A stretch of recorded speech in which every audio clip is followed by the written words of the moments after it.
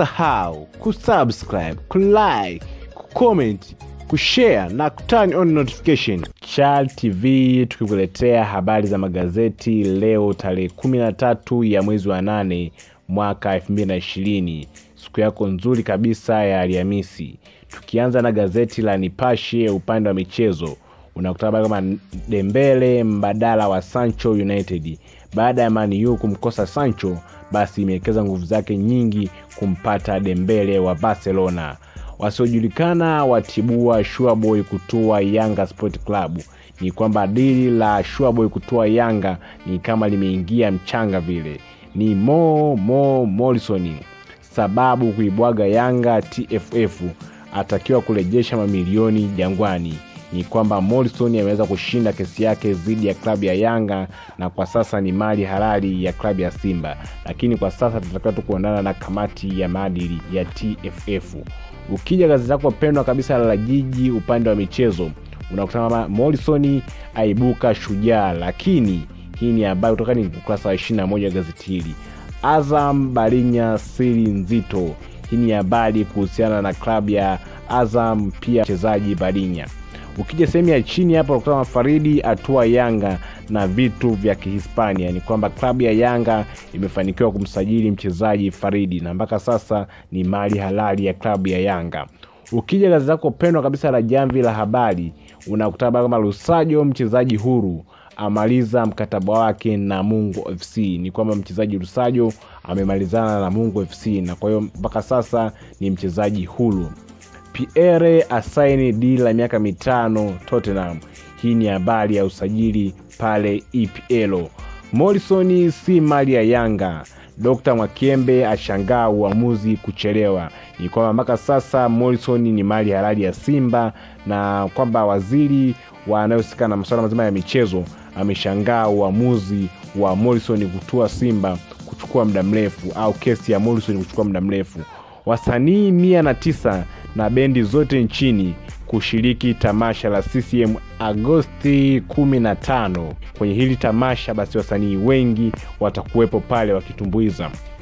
Ukija wenzako pendwa kabisa la mwanaspoti sehemu za nyuma unakutana baba tetesi za mastaa majuu united mdogo mdogo kwa dembele. Baada ya kumkosa sancho basi imehamia kwa dembele. Noma sana sancho kaachiwa msala dili la man united hii ni habari kuhusiana nini? Na usajili. Kwa sasa tu kiungo wa kibelgiji axel wisel alisema sancho amebaki na Sot- soto. Tumefurahi ni mchezaji wetu muhimu. Ni kwamba sancho basi atabaki pale pale dortmund wakati klabu ya man U sasa inahamia kwa dembele. Ukija kwenye zako pendwa kabisa la mwanaspoti sehemu za mbele unakutana masaa sabini na mbili za morisoni yanga yapigwa kioo kukimbilia kotini. Tff yabadili kesi simba shangwe. Ni kwamba mpaka sasa morison ni mali halali ya simba lakini mpaka sasa kuna baadhi ya kesi zitamalizika kuhusiana na mchezaji morison ambazo zitafanyika na kamati ni ya maadili. Ukisoma zaidi naambia tatizo ni mfumo.